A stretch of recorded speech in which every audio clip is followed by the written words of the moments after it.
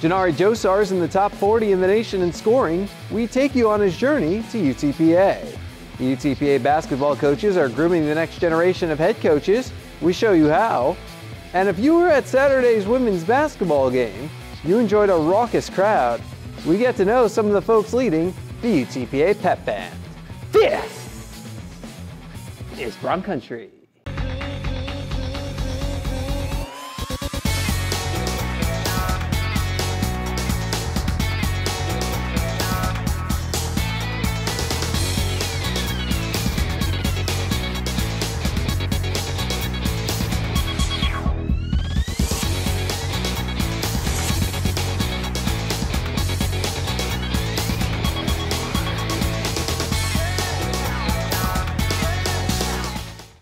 Hey everyone, and welcome to Bronc Country. I'm Jonah Goldberg.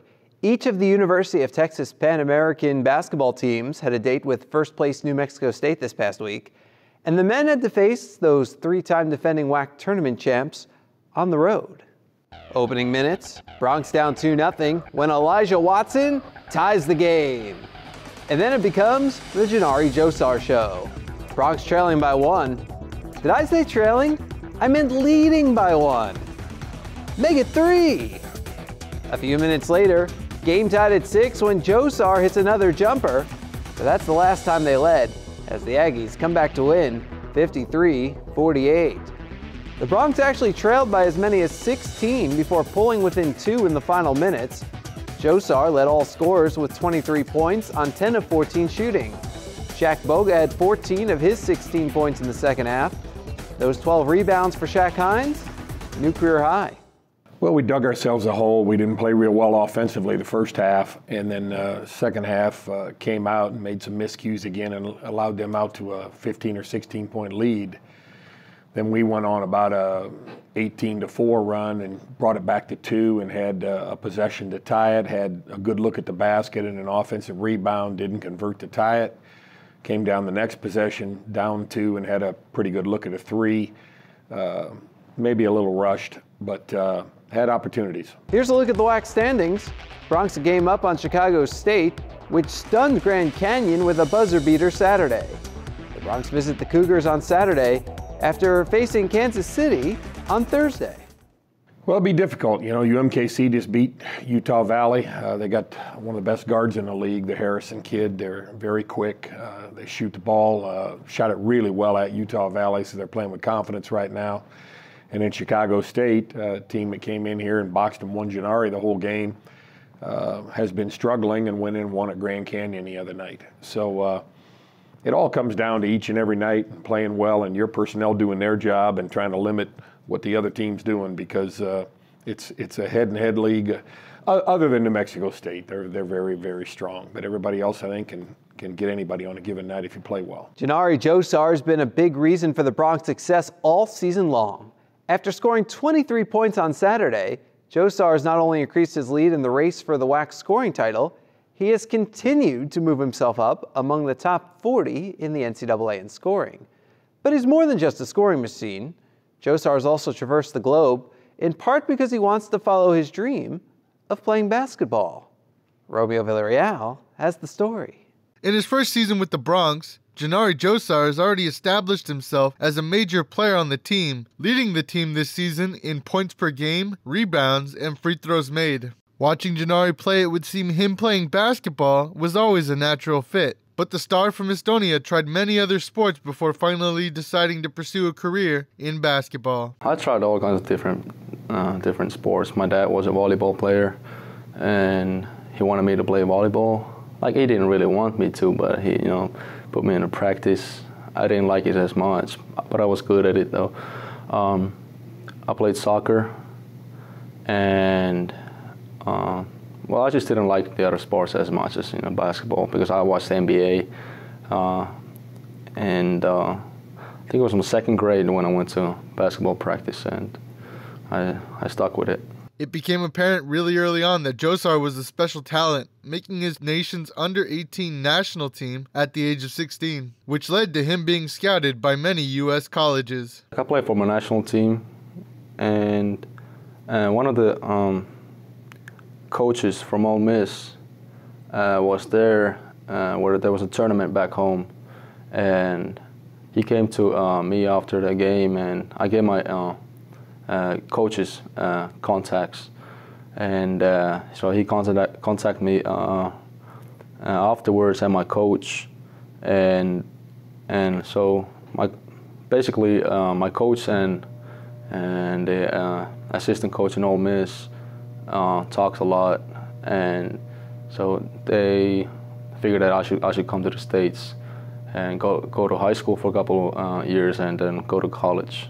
My mom was sad because I was leaving, but my dad, I mean, they they both like were happy for me, so I didn't like trying to, you know, stop me for from going. After only playing 15 minutes because of a difference in his play style and the play style of his team at Ole Miss, and with the assistant coach that recruited him leaving Ole Miss for a job in South Florida, Janari decided it was time for a change, which landed him right here at UTPA.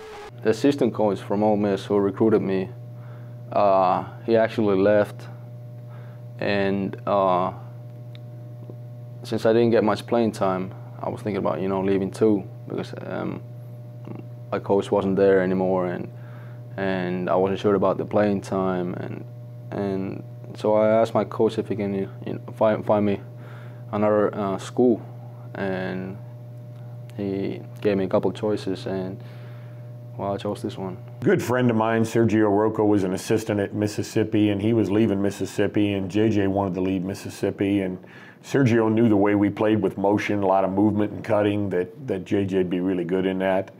And uh, so we got with him and got with JJ's uh, friend Tomas over in Estonia and got it worked out and happy to have him here. And, and uh, he's a great contributor and he is a great fit for the way we play. After arriving here in the spring and going through a few practices, Janari felt much more in tune with the motion offense run at UTPA. When, when I got here, uh, we started practicing right away, and uh, I mean, it was it was tough at first, but his playing playing style is like, you know, kind of my style. So uh, I think I, I fit in here, and and uh, you know, I think it's a good place.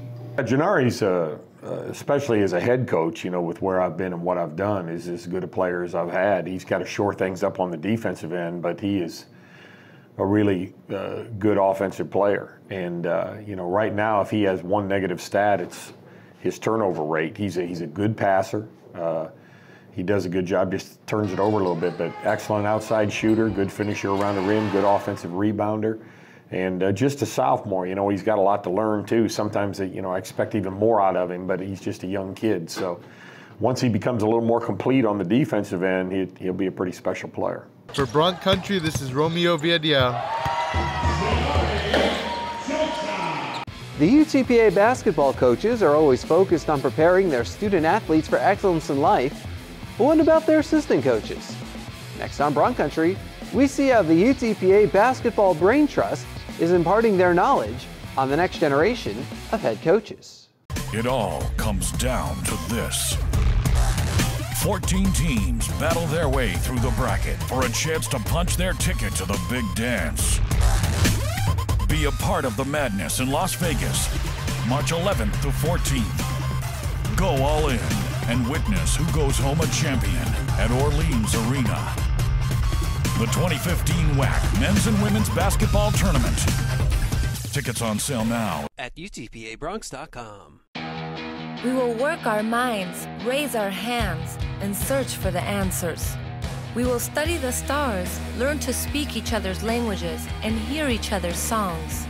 We will make each tomorrow brighter, more prosperous, and completely new. We cannot predict the future, but we can and will build it. We will come together. The University of Texas, Rio Grande Valley. New opportunities for the 21st century.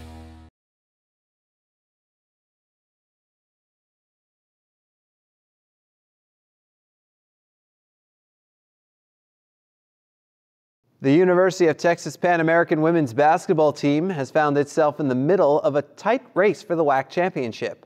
And this past weekend, they faced off against first place New Mexico State. Pick it up eight minutes in.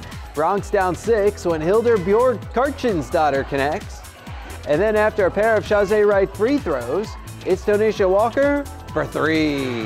The Broncs have a 21-20 lead. A few minutes later, the Aggies are up seven when Shante Goff launches from downtown. Next time down the court, Goff from inside the arc. Broncs within two. Less than a minute left in the half. Raquel Preston at the line.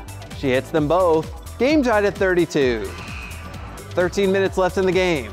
The Broncs find themselves down 10, but Brittany Bush puts the Broncs on the comeback trail. And then she gets the hoop with the harm. Bush converts the three-point play.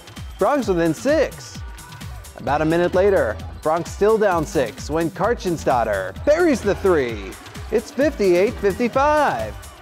Now it's 68-65 when Preston steps to the line and hits a pair. Broncs will then one.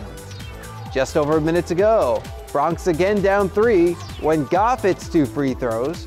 That's as close as they got. Broncs fall 74-71. First double-double of the season and seventh of her career for Brittany Bush.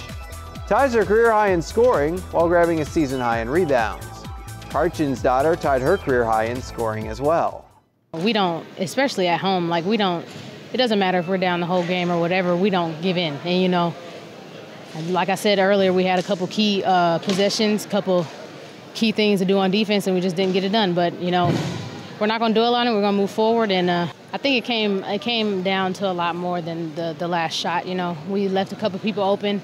They made some some wide open threes that they, they, they shouldn't have been open. But you know, all we do is get better. Uh, focus on the next two, I believe, two home games we got going on. Brittany had uh, her first double double of the season. Uh, one of the biggest things she did, she stayed out of foul trouble, and uh, she finished at the rim and had really good anticipation on rebounds. So, yeah, it was a it was a very very good performance for her. You know, when you can uh, come in and score 18 points and grab 14 rebounds, you've had a pretty good game. Here's a look at the WAC standings. The Broncs tied for second place with Bakersfield and a game up on both Seattle and Grand Canyon. The Broncs stay at home this week, hosting Kansas City on Thursday and Chicago State on Saturday. UMKC is going to come in. They're going to run a 2-3 zone. They're going to try to run some man. They're very patient. They have very good shooters. They're very good from the free throw line. We're going to have to uh, play extremely hard if we want to come away with a win. And then um, Saturday we play Chicago State, and you know that's a big one of our big rivals. We had a good game up there. We beat them by 15 there. So we're going to catch them on the back end of a two-game road trip, so that always helps when they got to travel all the way from Las Cruces to get down here. Broncs basketball head coaches Dan Hipsher and Larry Tidwell are doing more than coaching student athletes. They're molding a new generation of head coaches. For Coach Hipsher, it's simply been a fact of life throughout his coaching career. That's what the head coach does. For Coach Tidwell, that hasn't always been the case. But now he's taking advantage of his position to pay it forward. As a head coach, my responsibilities, of course, include my players, but they also include my assistant coaches who I want to make my top priority besides my players. And by making them a top priority, I want to get them to be able to coach on the floor, to be able to handle scouting reports, handle recruiting, and that's how you build them into head coaches. Coach Tidwell has allowed three of his assistants gain all sorts of experience, from running practices to conducting interviews, all in an effort to give them the necessary experience to become successful head coaches. Well, I think anytime you can get hands-on experience, it's a great thing to have. You know, he does. He gives us uh, a chance to, you know, do a lot of things. You know, even outside of practice, inside of practice. Uh, you know, he does that to to see uh, to help uh, groom us and help. Uh, you know, us become head coaches, and anytime you get a chance to do that and get true hands-on experience, I mean, it's just it's just huge. It allows me to get preparation and also build my IQ of the sport itself. And it also allows me the freedom to be able to groom and to grow both as not just as a coach but also as a mentor.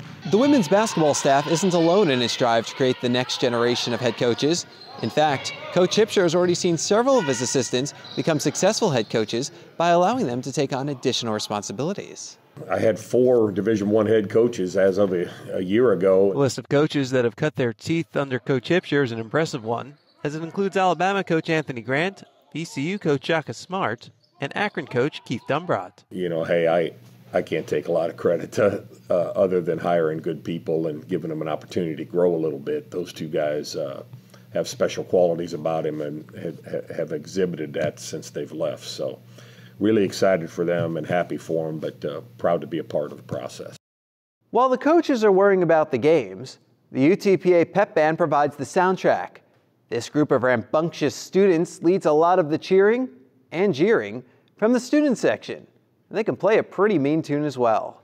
Vanessa Mares has more. They're the biggest fans who don't miss a beat.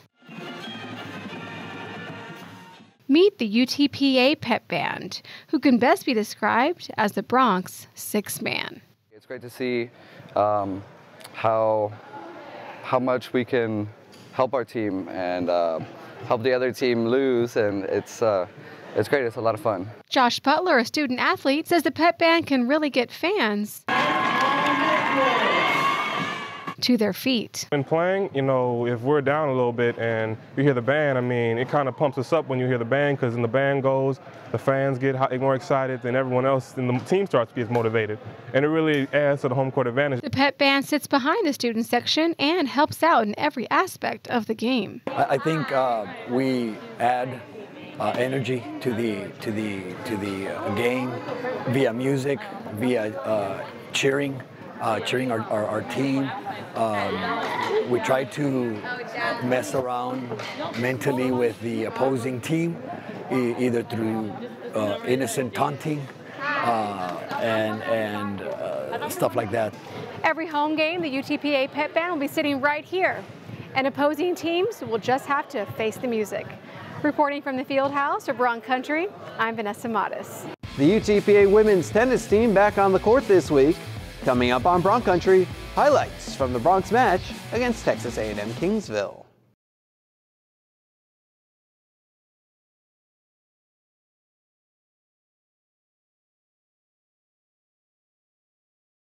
The UTPA women's tennis team is off to a strong start this season, despite contending with a schedule that has them on the road for eight out of nine matches. The Broncs won their first two on the road before getting swept at number six Baylor, the Broncs are back on the road this weekend against UT Arlington and UTSA. The Broncs were supposed to visit Texas A&M Corpus Christi on Tuesday, but rain got in the way. In the middle of it all, though, the Broncs played under the blue skies at the Orville Cox Tennis Center. Broncs facing Texas A&M Kingsville. Let's take a look at doubles, and it all started on court three. Katya Stavrolaki and Natasha Mink with the 6-4 win.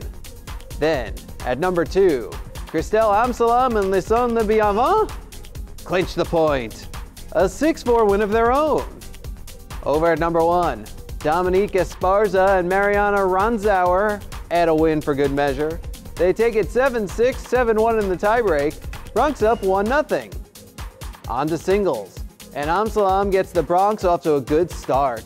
Makes quick work of Tabata Lua, 6-2, 6-2. Broncs up 2 love. Now it's 2-1 when Stavrolaki takes care of business. A 6-4-7-5 win at number 2. After a loss at number 4, the Broncs are still one point away from victory, and Bienvent delivers. Comes up with a 6-4-7-5 win at number 5.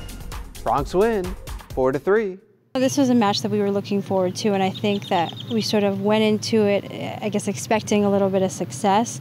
Um, they played great at Baylor, so I they still needed to remember that match, and so for them to come back today and sort of um, get us going for our upcoming mm-hmm. match against Corpus, it was really important for us to come out on top today. The UTPA men's tennis team was scheduled to visit 15th ranked Texas A&M on Sunday, but Mother Nature intervened causing the match to be postponed. That gave the Broncs some extra time to prepare for their upcoming matches as they'll host Monterrey Tech on Friday and Incarnate Word on Sunday. It's great to have home matches, you know. So uh, yeah, we get we had our first one, the, the home opener. So that was it was competitive, had a good crowd, it was great energy. So um, the boys always enjoy playing at home. So uh, I like to put on a little show. So it's going to be nice to host Monterrey Tech on Friday. First time we've had them up here um, since I've been here uh, in year two. So uh, hopefully it'll be a nice little thing that we can keep going, a nice rivalry. Um, get everybody some good competitive match play they're, they're one of the best teams, if not the best team uh, in Mexico. So it'll be a good good competition for us, a good test. And then uh, on Sunday we got Incarnate Word. Uh, we played them twice last year in the regular season. You know they're not in our conference, but we played them twice, and uh, they were close battles the whole way. Uh, every court, singles and doubles. So we know what we expect. We saw them again in the fall. The guys know one another. Coaches get along well. Um, so it'll be a, spirited rivalry. And you know, again, those in-state those in-state matches are important for us for recruiting. UTPA track and field at the Masked Rider Open at Texas Tech, and Robin Galloso continues to have a strong start to her final campaign, coming in second in the 1,000 meter run. She then turned around and came in seventh in the 3,000 meters the next day, while finishing 11th in the mile. Talk about a busy weekend.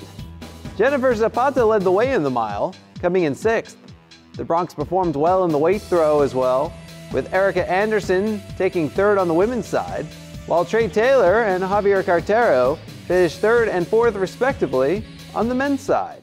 You know, the second competition out, first weekend, you know, we're competing, we're taking off the rust from the winter break, uh, just kind of seeing where we are. Then you know, we get back to work, we work for two weeks, and then go out and compete again. It, it, was a work weekend pretty much all around.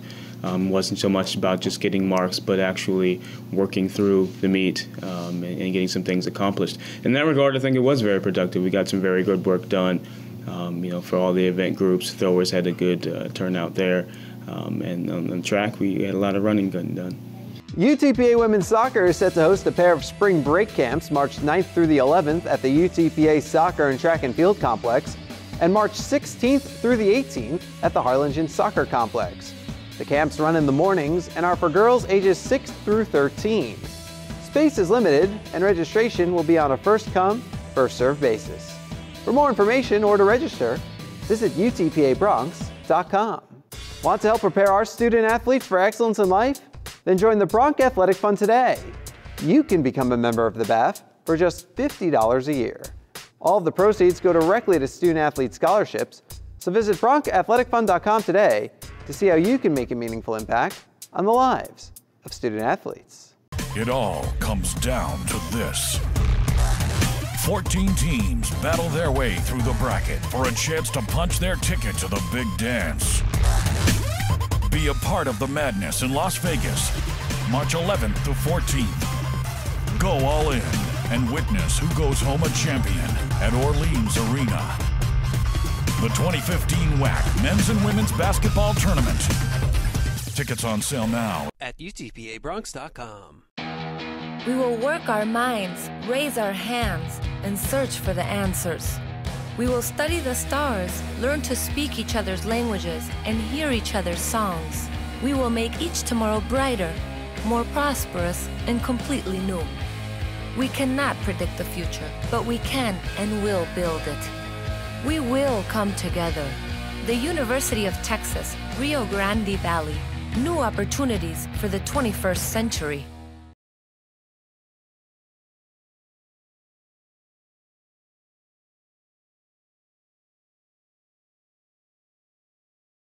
Here's what's coming up for the Broncs.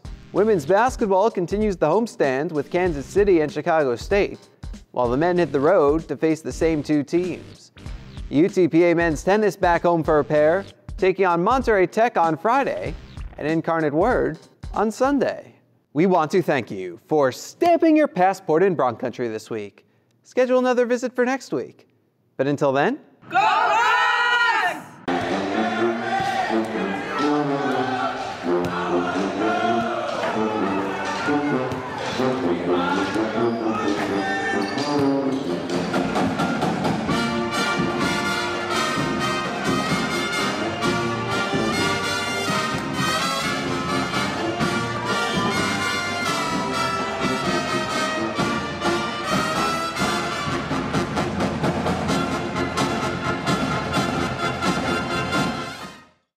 all comes down to this.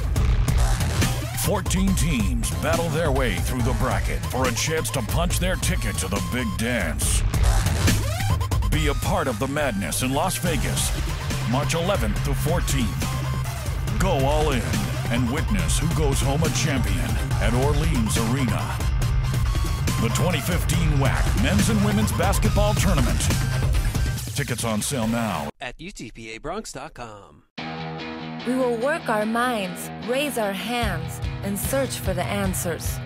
We will study the stars, learn to speak each other's languages, and hear each other's songs. We will make each tomorrow brighter, more prosperous, and completely new. We cannot predict the future, but we can and will build it. We will come together. The University of Texas, Rio Grande Valley. New opportunities for the 21st century.